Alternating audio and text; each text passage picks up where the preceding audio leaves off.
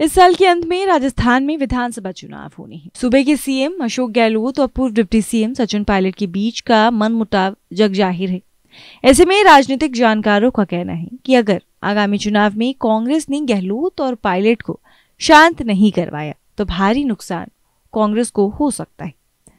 बीते दिनों कांग्रेस की नई कार्य समिति यानी कि सीडब्ल्यूसी में सचिन पायलट को शामिल किया गया। ऐसा माना जा रहा है कि आलाकमान ने राजस्थान के दोनों दिग्गज नेताओं को मना लिया है, क्योंकि दोनों अब एक दूसरे के खिलाफ शब्द बाण नहीं चला रहे। ऐसे में एक सर्वे सामने आए हैं, जिसमें कि राज्य के लोगों से उनका फेवरेट सीएम कौन होना चाहिए, ये पूछा गया। तो चलिए इस वीडियो में आपको बताते हैं कि राजस्थान की जनता किसको बतौर सीएम देखना चाहती है।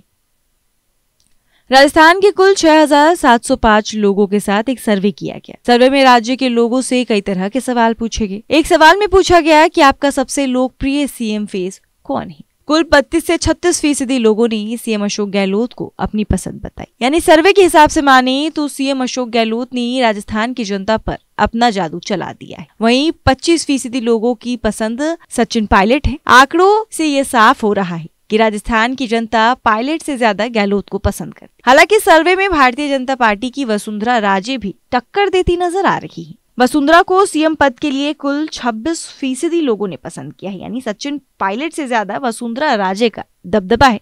यदि बीजेपी जीतती है तो बतौर सीएम फेस वहाँ के लोग वसुंधरा राजे को सीएम की कुर्सी पर बैठे देखना चाहते हैं और अगर कांग्रेस वापस से राजस्थान की सत्ता पर काबिज होती है तो राजस्थान की जो जनता है, वो अशोक गहलोत को ही वापस से मुख्यमंत्री के तौर पर देखना चाहती है। हालाँकि सचिन पायलट की भी जो फ़ैन फॉलोइंग है, वो कम नहीं है। सचिन पायलट को भी वहाँ के राजस्थान की जनता काफ़ी ज़्यादा पसंद करती है।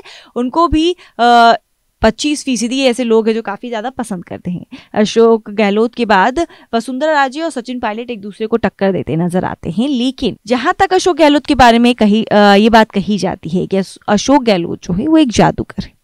तो बिल्कुल अशोक गहलोत ने अपना जादू चला रखा है राजस्थान की जनता पर और वो राजस्थान की जनता के दिलों पर। राज करने लगे हैं। अपनी अनेक योजनाओं के माध्यम से, अपने अनेक कार्यों के माध्यम से अशोक गहलोत ने राजस्थान की जनता का दिल जीत लिया है। अभी काफ़ी दिलचस्प होगा कि विधानसभा चुनाव में जिस तरीके से बीजेपी और कांग्रेस दोनों एकजुटता के साथ कड़ी टक्कर देते हुए चुनाव की तैयारियों में जुटी है, एक तरफ़ जहाँ बीजेपी, एक तरफ़ जहाँ बीजेपी ने परिवर्तन यात्रा निकाला है, वहीं दूसरी तरफ़ अशोक गहलोत भी कहीं पीछे नहीं है।